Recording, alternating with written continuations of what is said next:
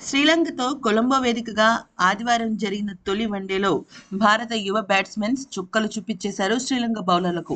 ముఖ్యంగా పృథ్వీ షా అలాగే ఇషాన్ కిషన్ ఇద్దరు కూడా శ్రీలంక బౌలర్లను చెడుగుడాడుకున్నారు లంక నిర్దేశించిన రెండు వందల అరవై మూడు పరుగుల విజయ లక్ష్యంతో బ్యాటింగ్ ఆరంభించిన భారత్కు చక్కని శుభారంభం లభించింది. ముఖ్యంగా కెప్టెన్ శిఖర్ ధవన్తో కలిసి ఆరంభించిన యువ ఓపెనర్ పృథ్వీ షా ఇరవై నాలుగు బంతుల్లో తొమ్మిది ఫోర్ల సహాయంతో నలభై మూడు పరుగులు చేశాడు. వరుస ఫోర్లతో శ్రీలంక బౌలర్లకు కాసేపు చెమటలు పట్టించేశాడు. ఇక షా క్రీజ్లో ఉన్నంతసేపు వరుస బౌండరీలతో చెలరేగిపోయాడు. ఒక సమయంలో హ్యాట్రిక్ ఫోర్లు కూడా బాధేశాడు. ఇక అతడి దెబ్బకు ఐదు ఓవర్లలోనే స్కోరు యాభై ఐదు పరుగులు దాటింది. ఇరవై నాలుగు బంతులు మాత్రమే ఎదుర్కొన్న షా తొమ్మిది ఫోర్లతో నలభై మూడు పరుగులు చేసి అవుట్ అయిపోయాడు.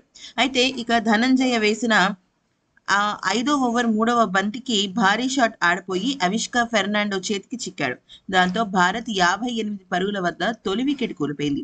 అనంతరం క్రీజ్లోకి వచ్చిన ఇషాన్ కిషన్ మాత్రం అద్భుతంగా తన ఆటను మలుపు తిప్పాడు. అయితే తను ఎదుర్కొన్న మొదటి రెండు బంతులను సిక్స్గా ఫోర్గా మలిచాడు. ఇషాన్ కూడా హ్యాట్రిక్ ఫోర్లతో అలరించాడు. టీ ట్వంటీ మాదిరి ఆడుతూ శ్రీలంక బౌలర్లతో చెడుగుడాడాడు ఈ క్రమంలోనే ముప్పై మూడు బంతుల్లోనే హాఫ్ సెంచరీ మార్కును అందుకున్నాడు.